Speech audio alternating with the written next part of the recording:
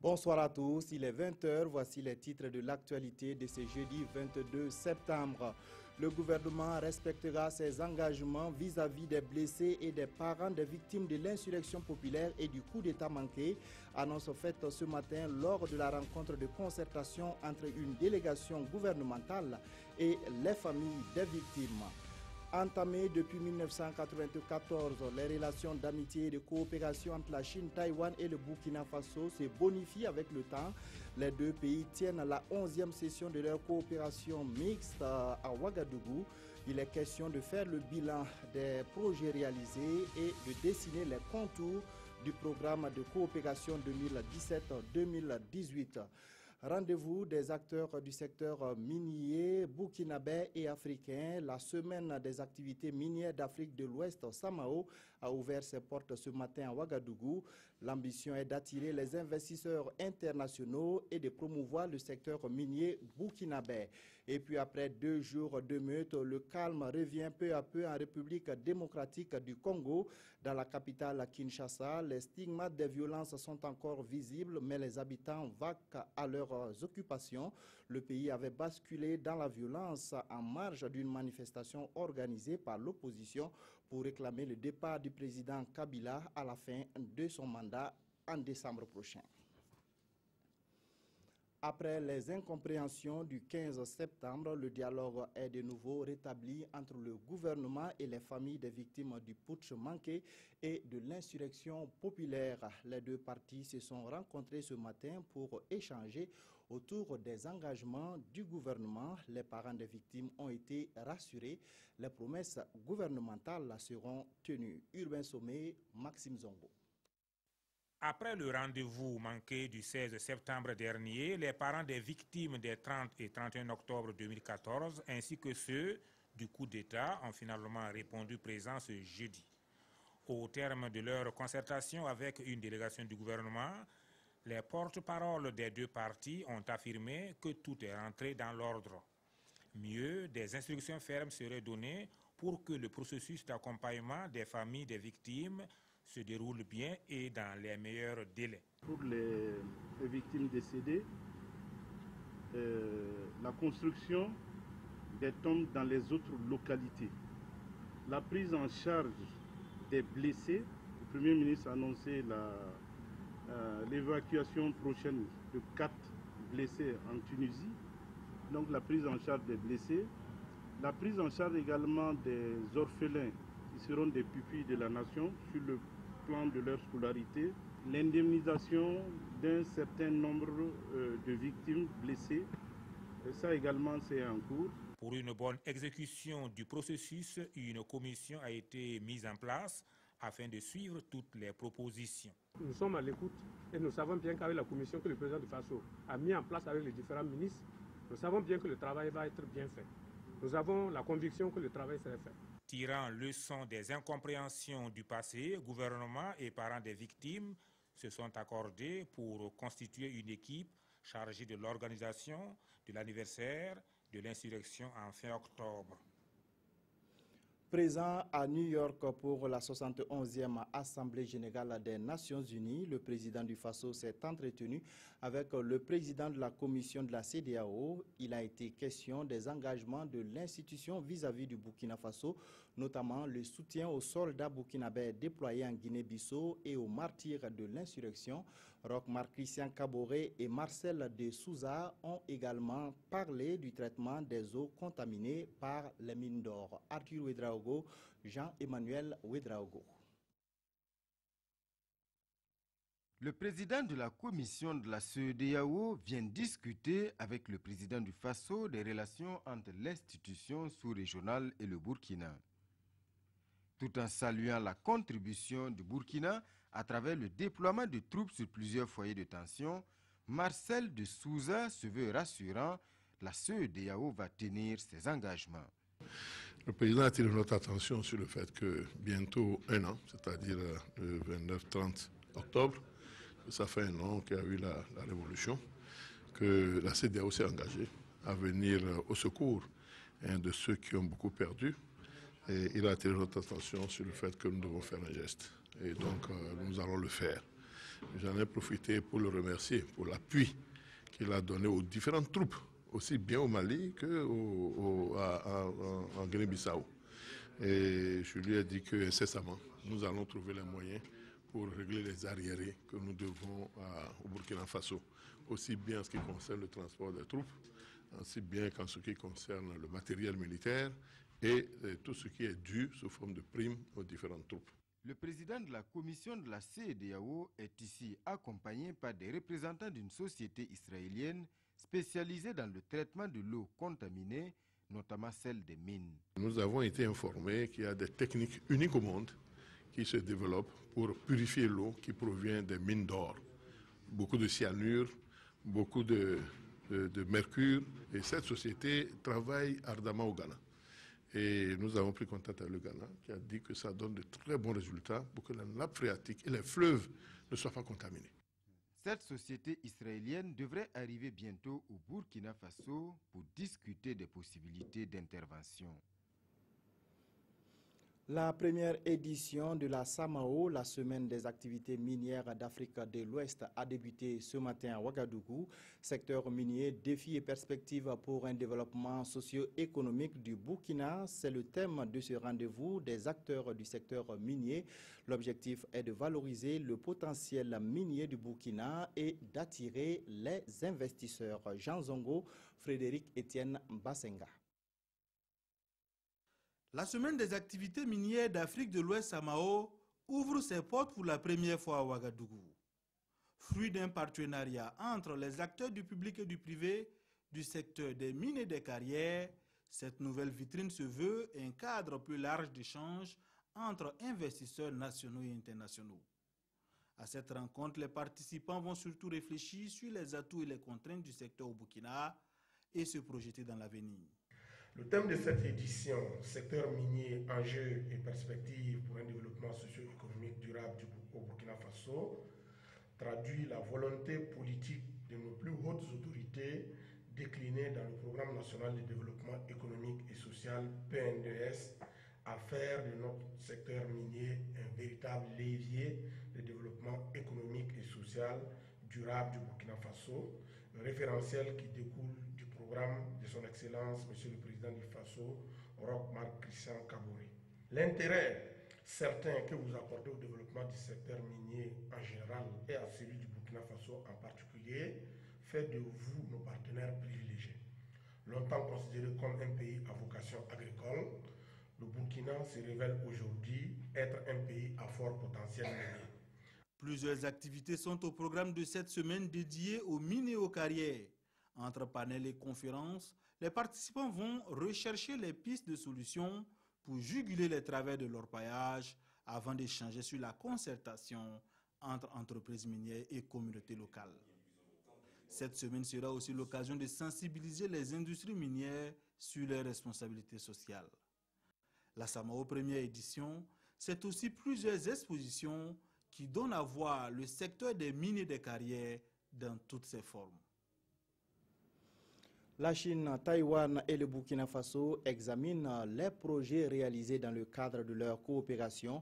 Les travaux de la 11e commission mixte qui se tient dans la capitale burkinabé permettront de planifier les actions à réaliser sur la période 2017-2018. Les échanges portent également sur le plan national de développement économique et social PNDS. Le point avec Mokhtar Ouedraogo et Yolande Lompo.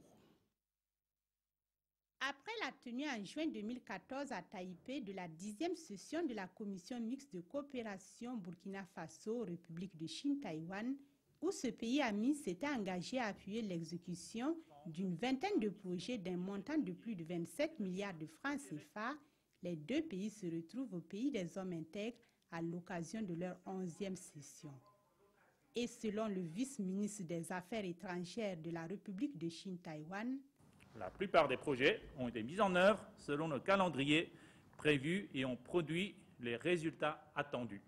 La commission fixe identifiera les projets les plus prioritaires parmi les dizaines de projets qui lui sont fournis et proposera un plan de déblocage pour la période 2017-2018 en fonction des fonds disponibles. Cette onzième session offre également l'opportunité aux experts des deux pays d'évaluer l'état de mise en œuvre des décisions et recommandations issues de la dixième session. Dans cette même perspective, le Burkina Faso s'est doté d'un ambitieux plan national de développement économique et social PNDS et nous avons un besoin de financement complémentaire de 5 570 milliards. Nous sollicitons l'accompagnement de votre gouvernement et des investisseurs taïwanais par une participation active à la table ronde de mobilisation des ressources financières prévues les 7 et 8 décembre 2016 à Paris. Convaincu que la coopération qu'elle apporte au Burkina contribuera à accélérer le développement, outre la santé, la formation professionnelle, l'environnement et la riziculture,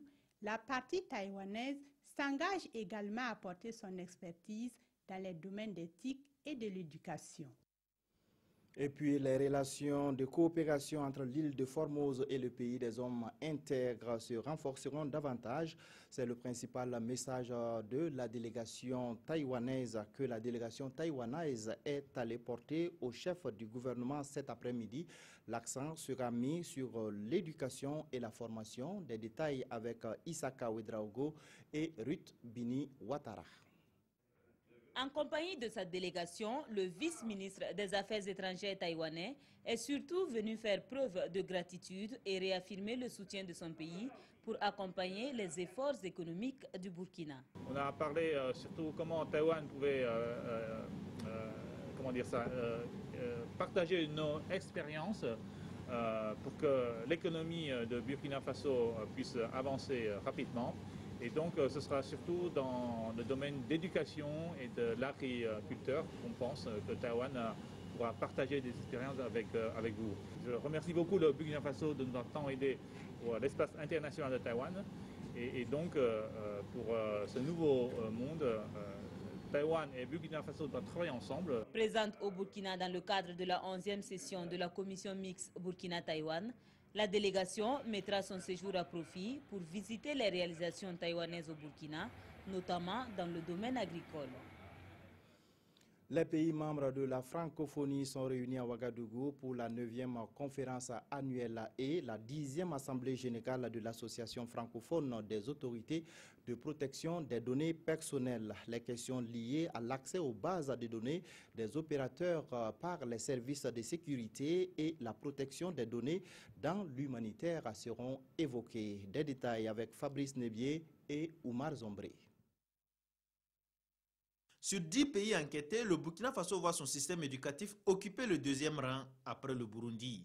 C'est ce qui ressort du rapport national du programme d'analyse des systèmes éducatifs de la conférence des ministres de l'éducation des États et gouvernements de la francophonie, PASEC 2014. Nous avons vu qu'il y a plus de la moitié des élèves qui sont au niveau du seuil suffisant euh, pour maîtriser la lecture, pour maîtriser les mathématiques.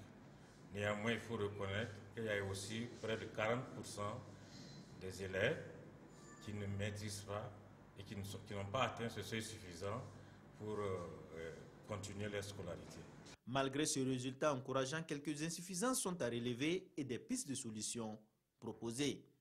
Il s'agit de travailler dans le sens à réduire davantage les disparités, que ce soit au niveau régional, que ce soit euh, entre gens, donc garçons-filles, au regard des résultats obtenus, les partenaires techniques et financiers sont toujours disposés à accompagner le système éducatif burkinabé. On a une bonne base et puis on a vu que par rapport aussi aux, autres pays de, la région, le Burkina, ça se place vraiment assez bien.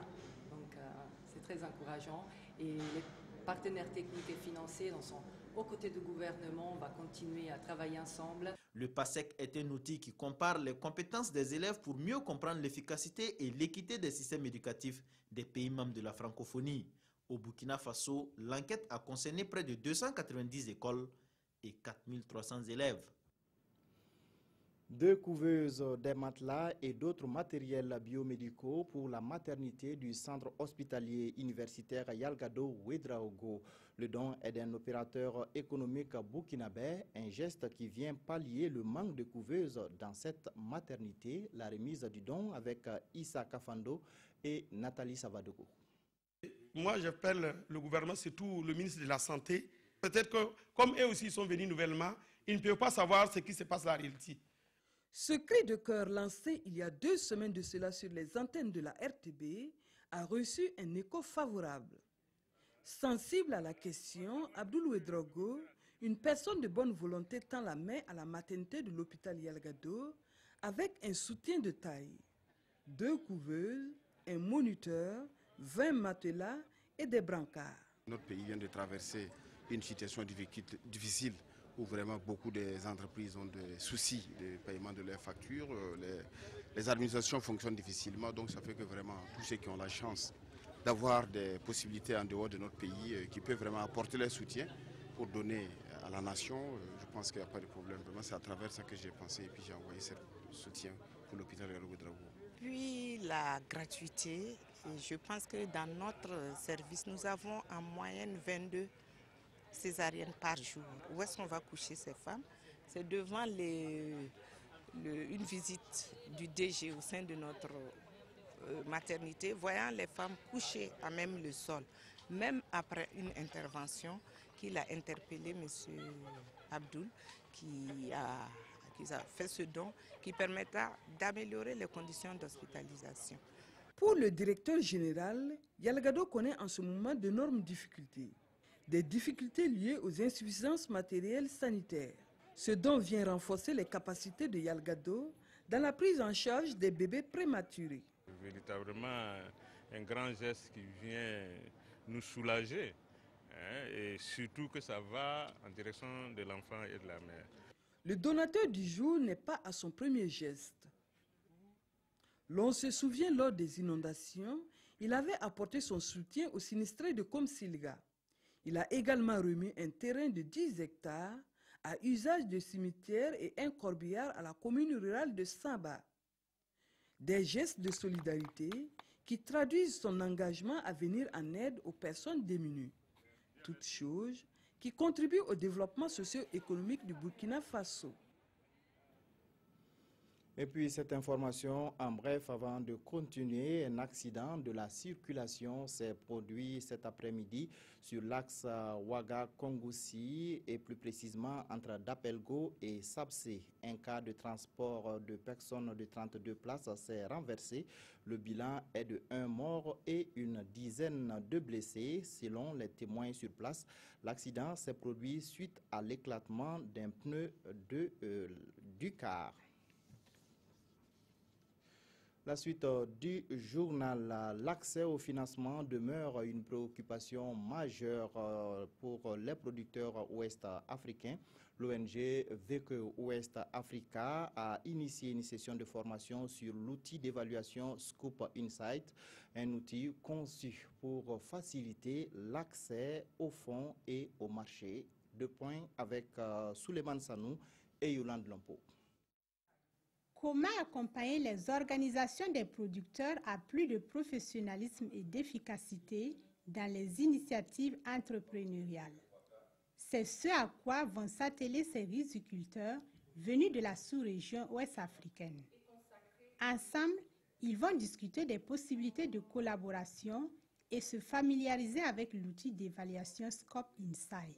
Scope Insight est un outil qui a été créé par euh, une entreprise qui s'appelle Scope Insight du même nom, qui est basée en Hollande, aux Pays-Bas, dont l'objectif principal est de mesurer les performances euh, managériales de petites euh, entreprises et des organisations de paysans.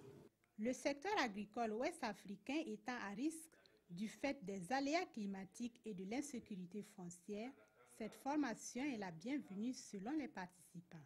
Aujourd'hui, que vous soyez agriculteur, transformateur, transporteur ou commerçant de riz, vous avez toujours des problèmes d'accès au financement. Les institutions de financement disent que nos produits sont périssables. Ça va permettre de faire la confiance entre nous et les institutions de financement pour qu'on réponde euh, aux aspirations des consommateurs qui ne réclament toujours que de la qualité et de la quantité régulièrement. La présente rencontre est organisée avec le soutien financier de VECO, une fondation de droit belge présente en Afrique, en Amérique latine, en Asie et en Europe. Le ministère en charge de l'environnement a élaboré un guide simplifié de gestion des zones humides. Le document contient des solutions qui pourraient sauver les fleuves, les lacs et les barrages en souffrance. Il a été présenté lors d'une rencontre de vulgarisation, le point avec Jean Zongo et Draman Guéné. Un atelier pour vulgariser ce document, le guide simplifié d'aménagement et de gestion durable des zones humides. Les zones humides, ce sont les ressources en eau naturelles et artificielles. Et le Burkina en dispose énormément. D'où ce document cadre pour mieux tirer profit de ces ressources. Le document donne des directives. Donc vous y trouverez donc euh, comment donc euh, mettre, élaborer donc euh, des chartes donc locales de gestion donc, de ces zones humides. Comment donc gérer de façon durable et rationnelle une zone humide.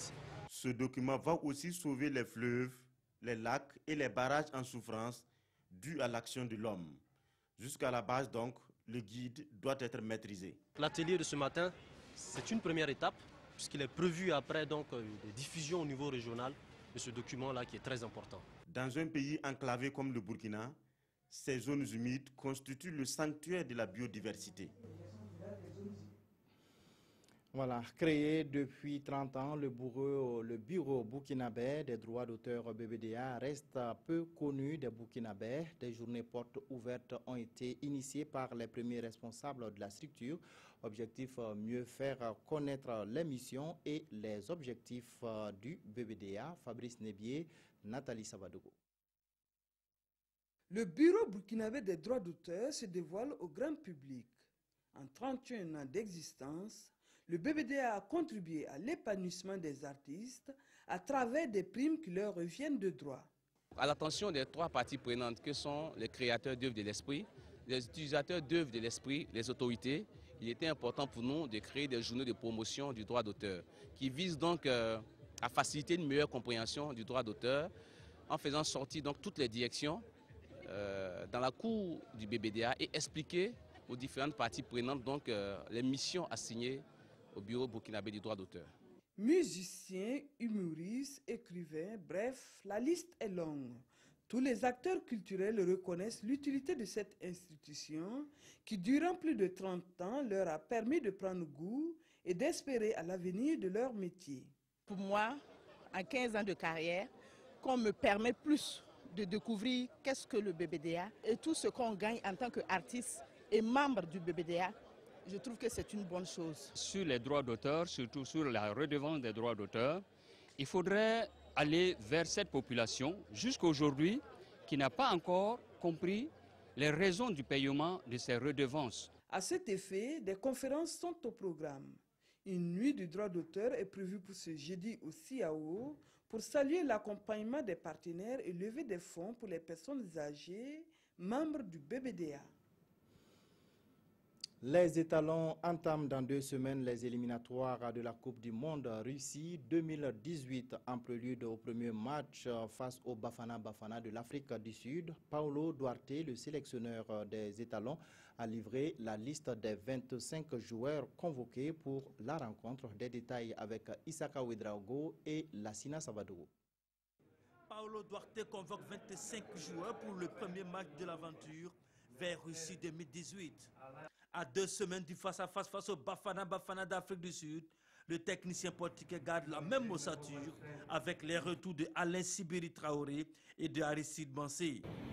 Aristide, vous le connaissez bien. C'est un joueur qui est en trajet long dans cette équipe nationale. C'est un joueur de groupe. C'est un joueur qui fait part de la mystique de cette équipe. Je n'ai pas l'invité avant parce qu'il n'a pas club. Et je l'ai invité maintenant parce qu'il a le club. Daouda Diakité blessé est en observation. Exit Yacouba Mando et Yaya Bamba. Une seule entrée, Djibril Zidnaba de Panafel en D2 portugaise. Steve Yago expulsé face au Botswana va puiser sa peine de deux matchs pendant la Cannes. Un coup dur pour Paulo Duarte. Vous savez que Steve il a pris deux matchs. Donc le match pool dans la Cannes, c'est trois matchs. On est, on, est, privé déjà deux matchs de Steve sur la canne. Ça, c'est un problème pour moi, un grand problème, et que je dois, je dois rapidement chercher ou minimiser ce problème et voir quel est le joueur capable de jouer là-bas. La qualification à la Coupe du Monde est possible pour la tête pensante des étalons, mais il y a plusieurs inconnus. Chaque match qu'on joue, comme à Comore et comme à Botswana, on perd 5-6 titulaires cause du blessure. Même hier, on vient de perdre peut-être Diakité. Si ça continue, je vous dis déjà, impossible d'aller la Coupe du Monde avec cette blessure. Impossible. Burkina, Afrique du Sud, c'est pour le 8 octobre prochain au stade du 4 août, cette fois à 18h et non à 14h. Le Burkina a commencé le tournoi de la solidarité, de la solidarité de la zone 3 de volleyball par une victoire sur le Bénin. La compétition a débuté hier à Ouagadougou. Le Bénin, le Ghana, le Niger et le Burkina participent à ce tournoi qui regroupe les équipes hommes et dames. Des précisions avec Mokhtar Ouedraogo et Dabakini. Initié il y a de cela des années maintenant, le tournoi de la solidarité de volleyball est resté un cadre privilégié pour le renforcement des équipes de la zone. C'est dans ce cadre que les formations hommes et dames du Niger, du Ghana, du Bénin sont présentes à Ouagadougou. Le tournoi a débuté ce mercredi sur le terrain de la fédération, à l'ex-INGEPS de Ouagadougou. Chez les hommes, le Burkina Faso, après avoir perdu le premier set face au Bénin, est revenu au score pour finalement s'imposer 3-7 à 1. Nous rentrons bien dans la compétition avec une victoire de 3-7 à 1. Et vous avez vu que quand on regarde la compétition, toutes les équipes se valent.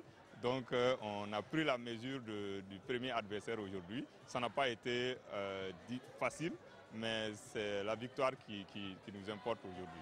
Le deuxième match a mis aux prises le Niger et le Ghana. Une véritable promenade de santé pour les Ghanéens. 25-13, 25-20 et 25-18.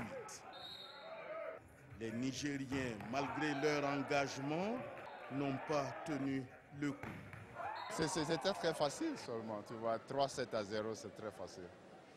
J'espérais qu'ils vont donner le compte plus que ça, mais ce n'était pas possible. Plus tôt dans la matinée, le Burkina en dame a eu raison du Bénin 3-7 à 0. 3-7 à 0 également pour les Ghanéennes face aux Nigériennes. La compétition prend fin ce samedi. C'est l'apaisement après les événements tragiques de lundi et mardi en République démocratique du Congo. À Kinshasa, des boutiques et des stations-service ont ouvert et la vie reprend progressivement son cours normal. Le récit de Jérémy Sié Koulibaly. Après deux jours de meute et de casse, Kinshasa renaît de ses cendres. La ville porte encore les stigmates de ces 48 heures de violence meurtrière sur fond de contestation de la possibilité pour le président Kabila de rester en poste après l'échéance de son mandat actuel qui arrive à terme le 20 décembre prochain. La vie a certes repris son cours normal dans la capitale congolaise, mais le bilan des affrontements est lourd. S'agissant du bilan en perte de vies humaines, depuis le 18, le 19 jusqu'au 20 septembre 2016, cela se chiffre désormais provisoirement à 32 tués. Ces chiffres sont cependant contestés par l'UDPS, le parti d'opposition historique, qui lui estime à plus de 100 morts les victimes de ces violences, les pires que Kinshasa ait connues depuis janvier 2015. À la faveur d'une messe dite en hommage aux victimes, l'Église catholique appelle à l'apaisement. Filles et fils de notre cher pays, tous ensemble disons non à la violence et disons oui à la paix et à la réconciliation. Les événements tragiques de ces jours, lus à la lumière des Saintes Écritures, nous invitent à un changement en profondeur. Pour l'opposition congolaise, le changement attendu rime avec l'alternance à la tête de l'État. Mais pour l'instant, le président Kabila ne donne aucun signe dans ce sens. La 71e Assemblée générale des Nations unies et le contentieux électoral au Gabon sont les principaux sujets à la une des quotidiens. La revue de presse, c'est avec Evelyne Dabiré. 71e Assemblée générale des Nations unies, les journaux reviennent sur la cérémonie d'ouverture qui a eu lieu mardi dernier. Et c'est le secrétaire général de l'ONU, Ban Ki-moon, qui a fait le tour de l'actualité mondiale, les succès et les échecs de l'Organisation des Nations unies dans son intervention, écrit Sidoya. À cette occasion, poursuit ce quotidien, Ban Ki-moon a déploré les conflits, les menaces et l'extrémisme violent dans le monde. Une invite a par ailleurs été lancée aux différents chefs d'État pour un retour de la paix dans tous les pays du monde.